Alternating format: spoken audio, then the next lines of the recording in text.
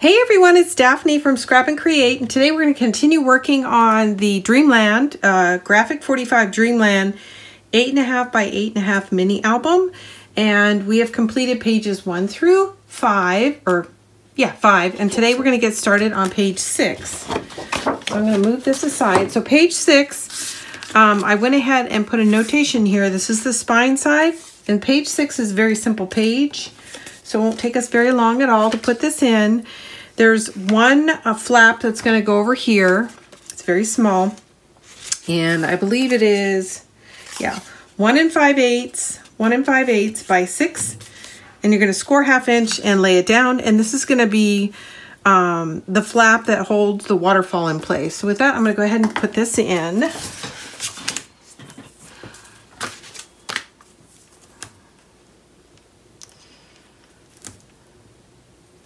And I want to remind you that um, if you're interested in the cut list or um, or want to know what materials were used in the video, go to the description, click on the show more, and the first thing you'll see is the list of materials. And then if you continue to scroll past that, you're going to see um, the cut list. And all our videos are organized the same. Um, and then lastly, if you go to our channel page, Scrap N Create, there's some menu items there, and one of the menu items is playlist. And if you want to see um, all the tutorials for a given project, um, we put those together for you in a playlist so you can locate all of them. And they they should be, and most of the time they are, in the order that you actually build the album. So there'll be a walkthrough so you know what you're building. The next one will build your base album up, and then, then I start in um, the interactive components and the designer papers for the particular album that you're looking at. And they're organized by paper title. So if you're interested in um, a particular paper, Graphic 45 or something else, um, and you want to know if we've got uh, a tutorial for it, you just go to the playlist and browse around for the paper title. In this case, it's going to be uh, Dreamland. Okay.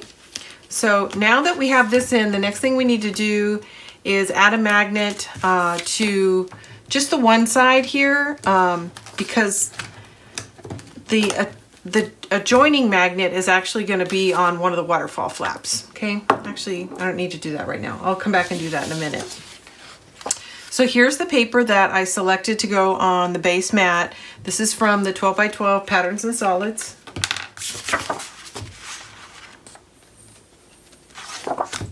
and I can't remember if I, which way I decided to do that. This way, okay. I didn't mark which side was up, so I had to rethink it. Look across and see what was going to be on the adjoining page.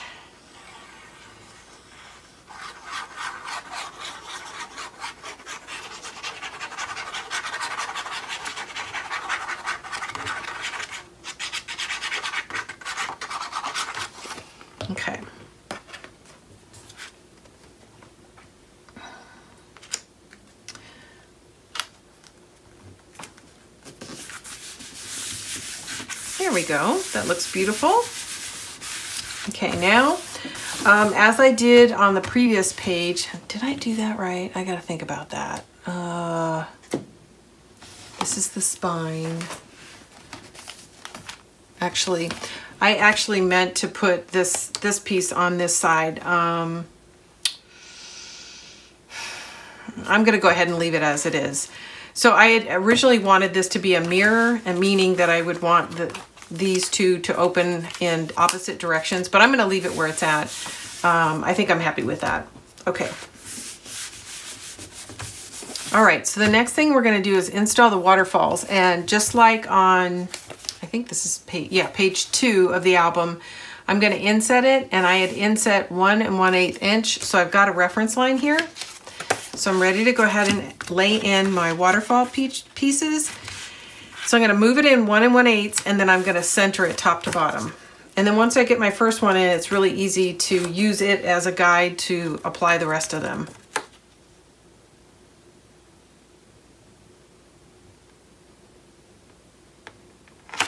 Okay, there's one. Okay, and there's a total of four.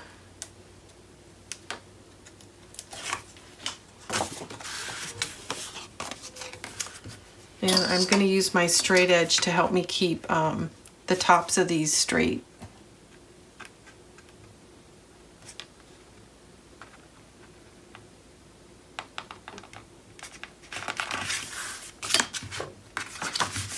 Okay, two.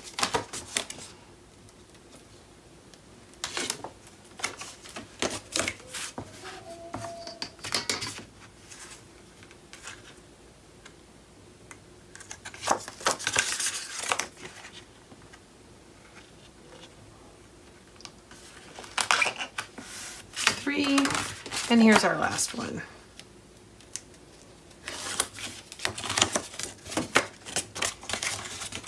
So when I'm laying the ruler in, I'm actually pushing it against the edge of the paper until it stops.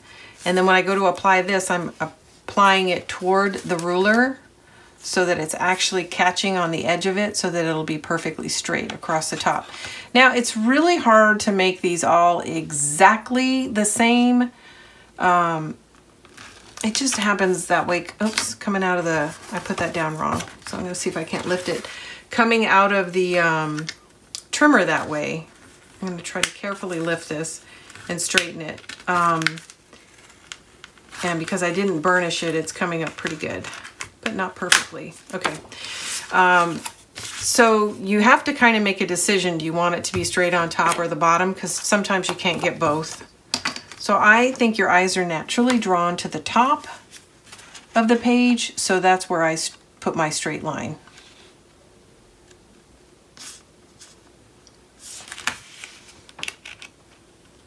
There we go.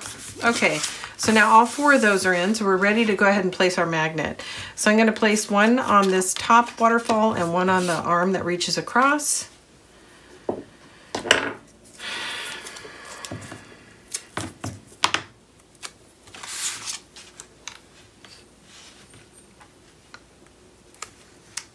Oops. There we go.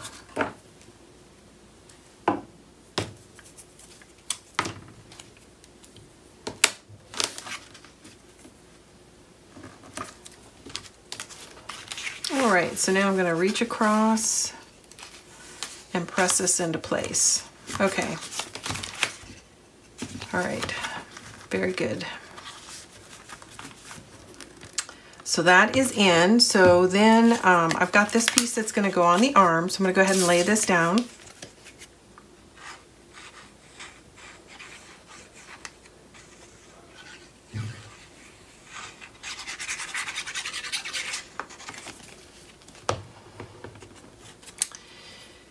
And I'm going to try to find a contrast sheet. Here we go. I want to be able to get a good look at all the edges here.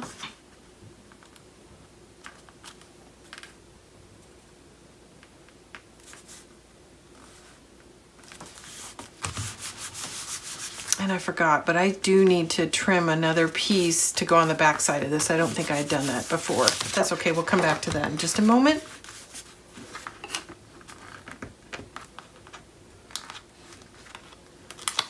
So the next piece is this piece. It's going to go here. And I'm going to actually dry fit it on this flip page. Yeah, looks good. Because I didn't want to lay it down on top of my magnet there. All right. And this is just like page two, so there's a pattern on the top and then a continuation over the next four waterfalls, three waterfalls.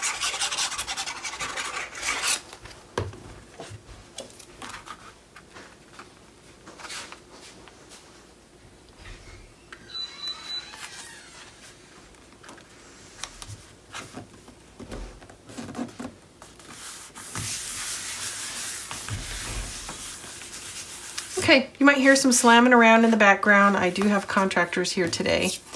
So here are the three strips that are gonna get added. And they go in this order. Okay, so this one's gonna get added to this edge.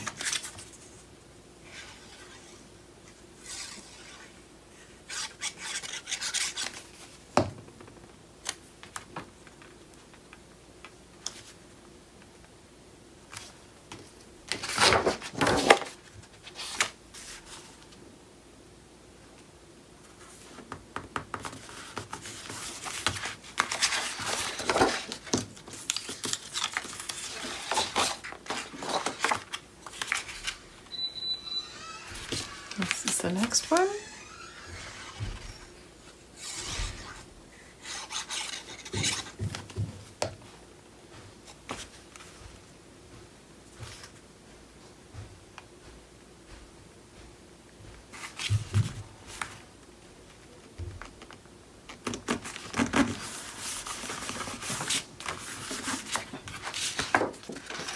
And our last one.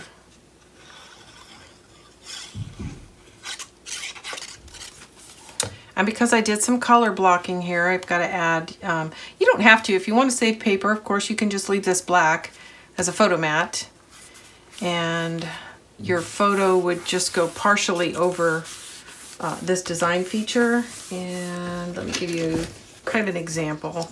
So if you had a photo, you know, it would just show a little bit of black and white on each side. I still think it looks fine. Um, but if you've got the paper, why not use it? And I do. So I'm going to go ahead and put an alternate pattern for each of these, like so. I'm just making sure that they all fit and that they don't get hung up in the hinge. So let me see, this one might fit a little bit better.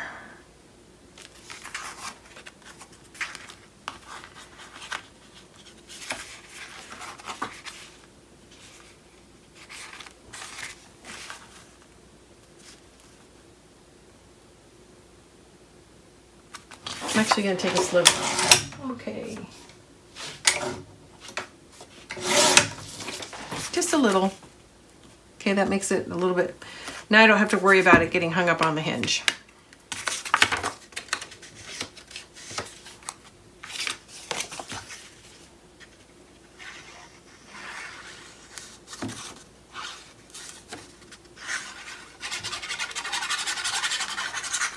I'm getting excited. We're getting close, guys. All right.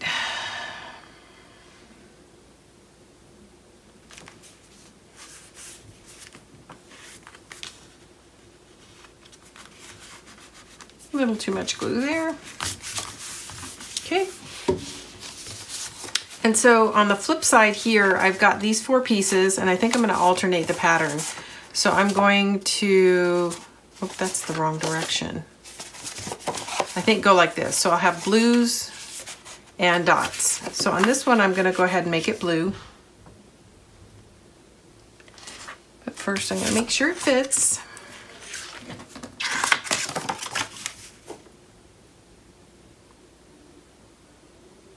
Perfect.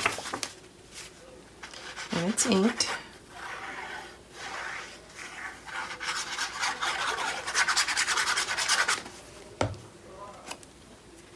I can hear my contractors in the background, so hopefully it's not too distracting for you guys.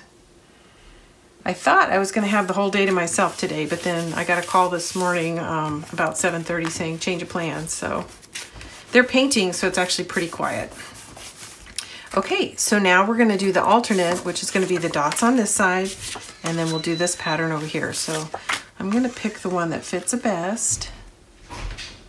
And this one seems good, but let's check this one. This one actually fits a little bit better. So I'm gonna go ahead and use it.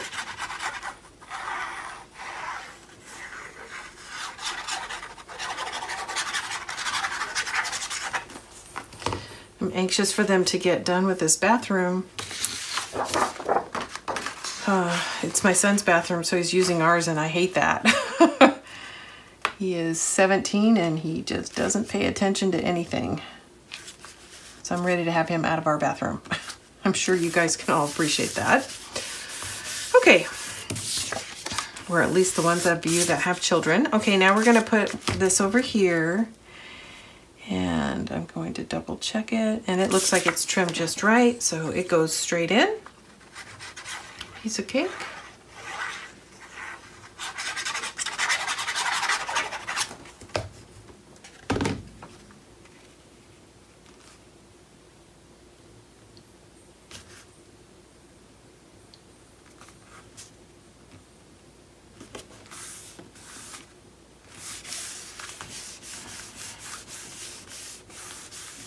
Beautiful. Okay, now we're ready for another blue piece. Let's see how it fits. And it doesn't look square, so I'm gonna check that out real quick.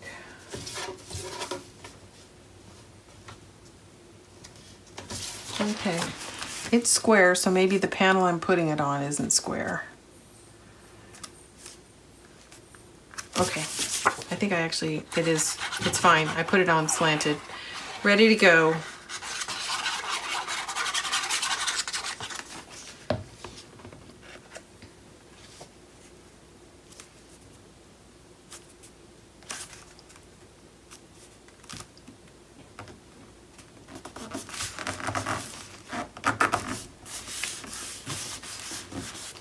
Okay, here we go. Let's see.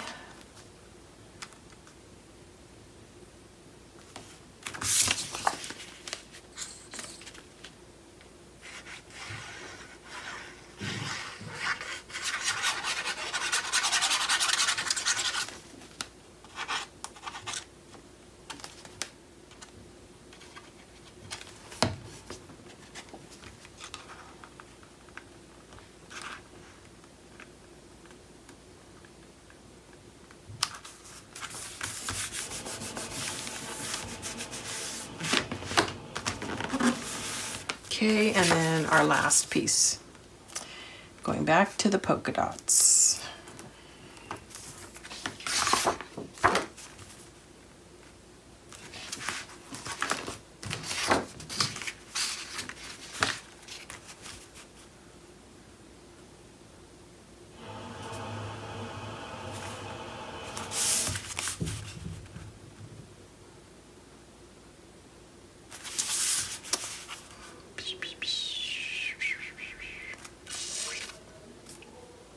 Okay, it looks good.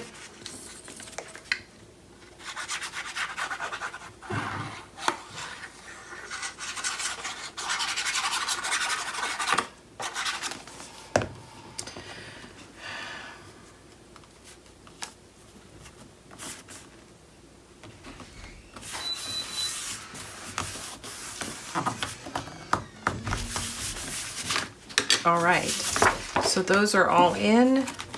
And here's our magnet that holds everything in place.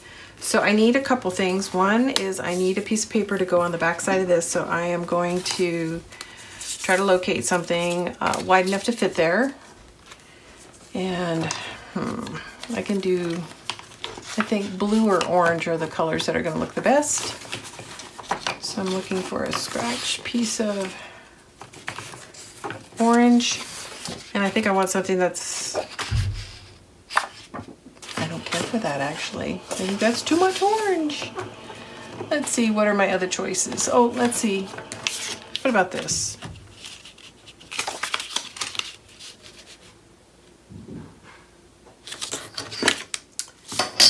Not crazy about that. What about this? Oh, this is perfect. Okay, so this was trimmed off of, what was this trimmed off of? I think this is yeah, this is from the 8x8. So there is a, and I'll show it to you. Here's a sheet like this in the 8x8, and so the, here's the umbrella girl right here. And it turns out, I did actually have this picked out and trimmed for this. It's exactly the right width to go on the flip side of this, and I'm really happy with that. So I just need to trim it shorter.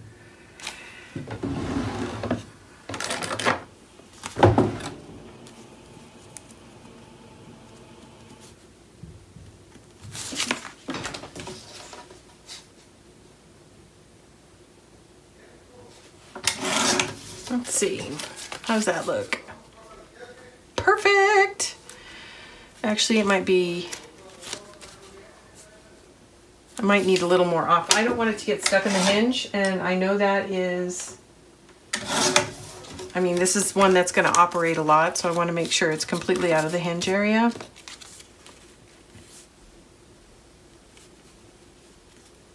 So that there's no interference. See. I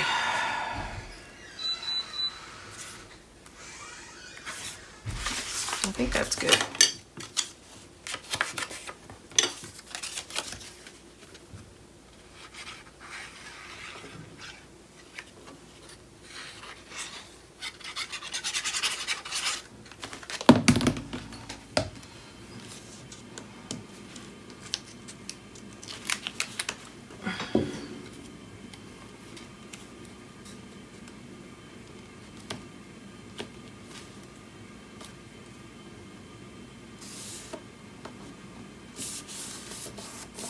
Okay.